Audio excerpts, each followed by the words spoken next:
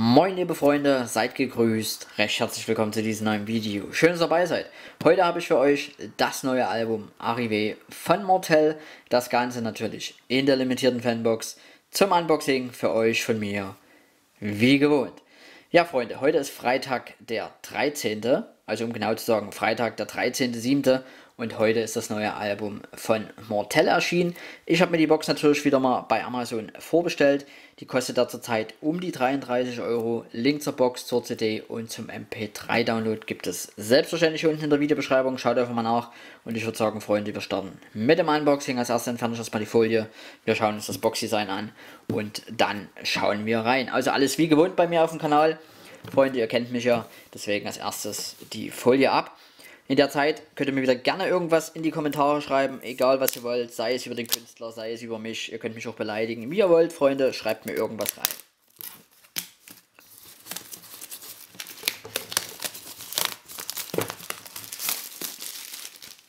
So, Zeit ist um, Freunde. Box ist offen, also die Folie ist ab. Und jetzt schauen wir uns natürlich das Design an. Wir haben eine komplett weiße Box, wirklich cool gemacht. Vorne drauf sehen wir das riesengroße Mortel-Logo und das ist ja richtig reingeprägt. Also ihr seht das schon. Richtig reingestanzt. Grau, darunter der Albumtitel Arrivé. Richtig cooles Design, schlicht gehalten, aber gefällt mir. Auf der Unterseite haben wir eine Flamme. Auf der rechten Seite steht nochmal Mortel. Auf der Oberseite haben wir wieder diese Flamme. Und auf der rechten Seite finden wir ebenfalls nochmal Mortel. Okay, hier hinten nochmal die Flamme und der Barcode ist ja natürlich auch zu finden. Das heißt, die Box gibt es natürlich auch im Handel. Fragt, wie gesagt, mal einfach bei Saturn oder Mediamarkt nach. Die haben meistens immer noch Boxen auf Lager. Also falls die bei Amazon ausverkauft sein sollte, fragt einfach mal danach. Die haben immer noch irgendwie welche da. Okay, das war das Boxdesign. Wie gesagt, schlicht gehalten, reicht auch völlig aus. Jetzt wollen wir natürlich in die Box reinschauen. Wir haben auf jeden Fall schon mal eine zweiteilige zusammenhängende Standard Deluxe Box. Kriege ich das jetzt hier auf oder nicht? Ach nee, okay, ist keine Standard Deluxe Box, sondern die ist nicht zusammenhängend, sondern zwei Teile. Okay, cool gemacht. Hier seht ihr das auch nochmal, dass das richtig reingestanzt ist. Das Logo. Cool, also wirklich schlichtes, einfaches Design. Als erstes haben wir das Album. Dann haben wir äh, oder ist das das Album? Modell, das ist. Okay, ne, also ich glaube, das ist hier die Bonus-CD. Okay, also Bonus-CD. Dann die Instrumental-CD. Was von krankes Bild, Freunde. Alter. Okay. Ein Aufkleber. Noch einen Aufkleber. Oh, eine Autogrammkarte. Sehr nice. Original unterschrieben. Sehr schön, gefällt mir. Wir haben Peps drin, okay. Und ein T-Shirt. Haben wir noch was drin? Ein Poster, okay. Also, Poster noch. Das sind die ganzen Inhalte der Box zum Album Arrivé. Arrivé, was heißt das eigentlich, Freunde? Könnt ihr mir das gerne mal unten in die Kommentare schreiben, wenn ihr wisst, was das heißt. Arrivé, ich weiß es wirklich nicht. Schreibt es mir einfach mal unten in die Kommentare, wenn ihr es wisst. So, das T-Shirt schauen wir uns selbstverständlich zum Schluss an. Den Rest lege ich euch erstmal in die Übersicht. Also ich komme immer noch nicht auf das Bild klar, Freunde. Das ist ja total krank. Ich meine, das geht ja noch. Das sieht ja so ein bisschen alienartig aus. Aber das... Alter. Ja gut, okay. Also erstmal alles schön in die Übersicht. Hier muss ich jetzt auch wieder sagen, Freunde, das Design, ich dachte vor uns gerade erst, es geht wieder durch die ganze Box durch, aber ist ein bisschen Abwechslung sind unterschiedliche, äh, wie soll ich sagen, unterschiedliche, ähm, wie soll ich denn sagen? Ja, unterschiedliche Bilder, also er guckt nie überall gleich gerade hier. Also äh, das finde ich schon mal sehr gut, weil ich mag das nicht, wenn ein und selbes Cover zum Beispiel immer mehrfach in der Box vorkommt. Also ein bisschen Abwechslung ist schon immer gut. Also finde ich. Deswegen schon mal gut gemacht. Okay, Freunde. Mit was starten wir denn als erstes? Jetzt, ich würde sagen, wir schauen uns als erstes die ähm, Peps an. Arrivé steht hier vorne drauf.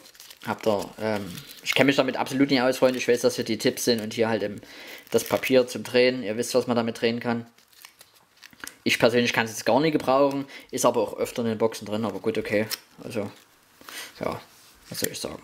Halt Peps und ähm, die Tipps dazu. Dann schauen wir uns als nächstes, Freunde, die beiden Aufkleber an. Da haben wir einmal einen wirklich schön großen mit dem Mortel-Logo. Darunter steht auch nochmal Mortel. Der sieht wirklich richtig nice aus. Gefällt mir. Schöne Größe. Leider nur einer wieder mal. Ich weiß, das muss ich jedes Mal bemängeln, aber ja, Freunde, wenn einfach ein paar Aufkleber mehr drin sind, traut man sich die auch zu verkleben und will die dann nicht aufheben. Also werde ich es aufheben, werde ich natürlich nicht verkleben. Und natürlich nochmal ein Aufkleber vom Albumtitel Arrivé. Sehr nice. Leider alles, ja, leider immer bloß einmal. Aber gut, okay. Zwei Aufkleber. Dann haben wir als nächstes eine Autogrammkarte, Schwarz-Weiß-Bild, gefällt mir sehr gut. Ich mag Autogrammkarten, wenn die ja, also dieses Schwarz-Weiß gemachte Richtig cool und natürlich original unterschrieben, Freunde. Das ist immer wichtig. Richtig nice. Ist so wirklich cooles Bild. Und Rückseite unbedruckt. So sollte das auf jeden Fall sein bei einer richtigen Autogrammkarte. Gefällt mir. Also wirklich nice. Richtig cool. Stark. Gefällt mir. Als nächstes, Freunde, schauen wir uns das Poster an. Ich hoffe, ich kriege das jetzt eingefangen. Ich habe eigentlich gar keine wirkliche Lust, heute umzubauen. Also ich werde das heute einfach mal so machen, Freunde. Ich habe jetzt keine Lust groß, aber das ist nicht allzu großes Poster. Also hier haben wir einmal den, wie soll ich sagen, den Alien Mortel. Das von der CD hier vorne drauf. Also es ist wirklich, äh, ja, ich weiß nicht, es ist schon irgendwie krass. Also ich weiß nicht, sieht schon krank aus. Okay, also immer das Motiv, guter Druck auf jeden Fall, kann man nichts sagen. Gute Fotoqualität, absolut. Also nie verpixelt, nie verschwommen, also wirklich richtig nice. Natürlich ist es auch äh, gut, dass es nicht zu groß ist, weil sonst verpixelt das ja dann immer die Fotos. Hier ist eine gute Größe, deswegen hat man dann natürlich auch eine sehr gute ähm, ja, Bildqualität. Sehr nice. Und auf der Rückseite, okay, da haben wir nochmal das Bild, das hätte ich jetzt besser gefunden fast. Haben wir jetzt nochmal das von, das war glaube ich die EP hier, genau, die EP ist das. Da haben wir nochmal das Bild von der EP, nochmal komplett nur, dass hier jetzt schwarze Farbe runterläuft auf dem Alien Mortel. Okay, ja, coole Sache. Wie gesagt, die Größe ist vollkommen okay, weil so riesengroße Poster braucht man sich nicht zu meinen. Da ist ja irgendwann die Wand voll. So hat man extra viel Platz für ein paar andere Poster. Coole Sache, doppelseitig bedruckt, gute Foto- und Druckqualität, absolut nice, kann ich nichts dran sagen. Als nächstes, Freunde, schauen wir uns die Instrumental-CD an mit diesem Bild hier. Ach, der hat hier Grills drin, jetzt sehe ich das gerade, okay. Das habe ich vorhin gar nicht richtig gesehen. Also ich hatte diese Grills drin, instrumental und ja, fummelt sich im Mund rum. äh, komisch, gut, okay. So sieht die CD aus. Auch cool gemacht hier oben mit dem Mortel-Logo, gefällt mir sehr gut. Das war die Instrumental-CD. Wir machen weiter mit der Bonus-EP. Und hier, Freunde, gibt es erstmal einen Daumen hoch, denn die Bonus-EP ist einfach mal in der richtigen Hülle drin. Nicht einfach nur in billigen Pappschuber, wie es eigentlich in jeder Box ist, sondern in der richtigen Hülle. Wie gesagt, wirklich Daumen hoch dafür. Richtig nice. Mortel hat es begriffen. Und, Freunde, ich gebe gleich nochmal einen Daumen hoch, denn auf der Bonus-EP sind einfach elf Songs drauf. Also da kann man eigentlich sagen, ist nochmal ein Album an sich. Auf dem Hauptalbum hat man schon 14 Songs, jetzt nochmal 11, also insgesamt 25 Songs, Freunde. Das ist echt jede Menge. Richtig krass. Feature-Gäste lese ich euch jetzt nicht alle vor, Freunde, die kann ich alle nicht aussprechen. Äh, ihr könnt euch ja gerne an der Stelle mal anhalten und ähm, ja, euch die Feature-Gäste durchlesen. Shadow sagt mir jetzt als einzigster was, also Shadow 030, wenn es der ist. Ansonsten die anderen, ja, Schande über mich, ich weiß, ist mir jetzt aber auch gerade sowas von egal, Leute. Ha, äh, gut. So, schauen wir rein. So sieht die CD aus, muss ich da ein bisschen aufpassen. Hier haben wir nochmal ein Bild von Mortel, wie ihn noch mehr Farbe übers Gesicht läuft. Okay. Und hier haben wir so ein, ja, also Booklet, nee, eher so ein Einlegeblättchen. Das schauen wir uns natürlich nochmal an. Wir haben hier nochmal die ganzen Songs aufgelistet. Und hier haben wir nochmal ein Bild von Mortel mit weißer Maske und äh, im Hintergrund dieser Mercedes G-Klasse, das ist glaube ich Mercedes G-Klasse zu sehen. Okay cool gemacht. Wie gesagt, wirklich richtig krass. Die Bonus-EP in der richtigen Hülle und natürlich elf Songs drauf. Richtig krass. Die Bonus-EP. Wir machen weiter mit dem Hauptalbum. Und hier, Freunde, schreibt mir gerne mal unten in die Kommentare Hashtag Alien Mortel. Das ist jetzt nicht böse gemeint, Freunde, aber das Bild sieht einfach so krass aus. Ich komme da nicht drauf klar. Also krass, absolut.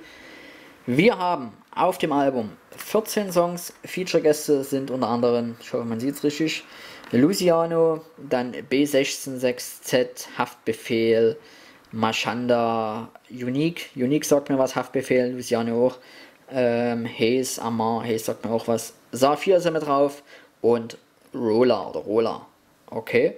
Also ich vermisse jetzt hier Flair, dachte eigentlich Flair wäre vielleicht mit drauf, Aber gut, okay. Trotzdem stark. Gute Features auf jeden Fall mit drauf. So sieht die CD aus. Krass gemacht, wieder mit dem Logo jetzt hier. Das ist wirklich cool gemacht, gefällt mir sehr gut. Alter, ja, was zum Teufel passt hier perfekt. Das ist schon wieder so ein krankes Bild. Freunde, könnt ihr mir mal sagen, was, was mit dem los ist? Krass, also ein weißer Teufel.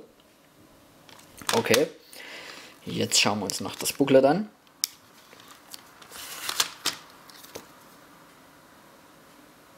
Ich sehe dich. Äh, so. Ich sag jetzt nochmal das Bild. Oh, naja, gut, okay, andere. Das ist, okay, das ist genauso krank. Äh, ja, Freunde. Also, hier haben wir jetzt nochmal die Songs aufgelistet und nochmal ein paar Bilder von Mortel drin. Okay, hier wird es immer mehr Farbe. Das Ganze in schwarz-weiß. Sehr, alter, krass. Das sieht richtig krank aus. Okay, okay. Hier haben wir nochmal ein schönes Bild, im Gegensatz zu den anderen. Von der Autogrammkarte kennen wir schon das Bild. Sehr nice. Das ist da. Also die anderen sind auch krass, aber die sind halt absolut krank. Keine Ahnung, was jetzt... Äh, ja, gut. Okay, das Booklet, Freunde. Cool gemacht. Was soll ich anders sagen? Die CD muss ich natürlich auch wieder reinmachen. So, das war die Mucke. Jetzt kommen wir natürlich noch zum Highlight der Box, zu dem T-Shirt.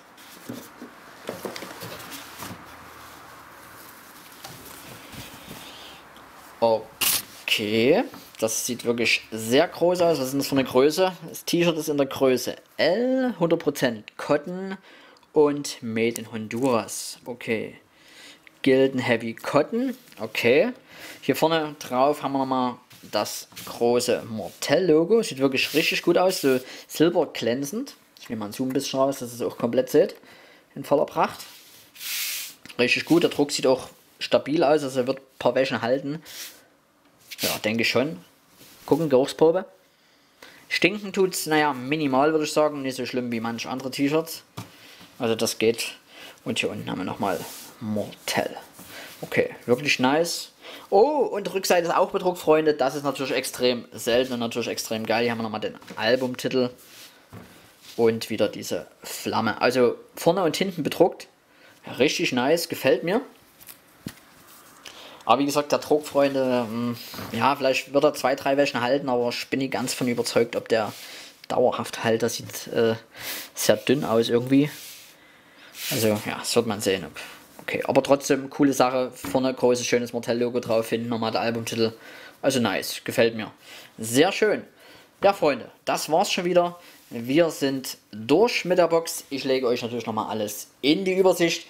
Also, ihr bekommt in der Box zum Album RV das T-Shirt doppelseitig bedruckt, vorne und hinten, sehr nice. Dann natürlich das Album mit 14 Songs. Dann die Bonus-EP mit 11 zusätzlichen Songs, also insgesamt 25 äh, Songs. Also jede Menge Mucke, wirklich richtig nice. Das Ganze in der richtigen Hülle, wirklich richtig cool. Dann ähm, die Instrumental-CD mit diesem verstörenden Bild. Aber es gefällt mir irgendwie immer besser, Freunde, umso mehr ich mir das angucke. Äh, wirklich cool. Also, ja, nice. Natürlich die Box an sich, wo die ganzen Inhalte drin aufbewahrt werden. Dann ein doppelseitiges Poster, doppelseitig bedrucktes Poster. Die Autogrammkarte, original unterschrieben, wirklich cooles Bild, gefällt mir sehr gut. Wirklich richtig schöne Autogrammkarte. Dann die beiden Aufkleber und die Papes. Das Ganze für 33 Euro, Freunde, muss ich sagen, ist wirklich eine absolut gute Box vom Inhalt her wirklich gute Qualität, äh, kann man absolut nicht meckern eigentlich, muss ich sagen. Jede Menge Mucke, vor allen Dingen, das ist ja immer das Wichtige mit in so einer Box drin.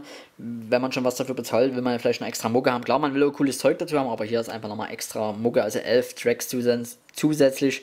Wirklich richtig nice. Ja, gute Box, kann ich euch eigentlich wirklich nur empfehlen. Ins Album werde ich mir jetzt gleich mal äh, in, ja, in CD-Player reinhauen, beziehungsweise mir das auf Amazon anhören und werde mir mal ein Bild zur Musik machen von Mortel. Ansonsten, Freunde, hoffe ich, das Video hat euch gefallen. Wenn euch das Video gefallen hat, würde ich mich sehr darüber freuen, wenn ihr mir einen Daumen nach oben da lasst und mir natürlich was Nettes unten in die Kommentare schreibt.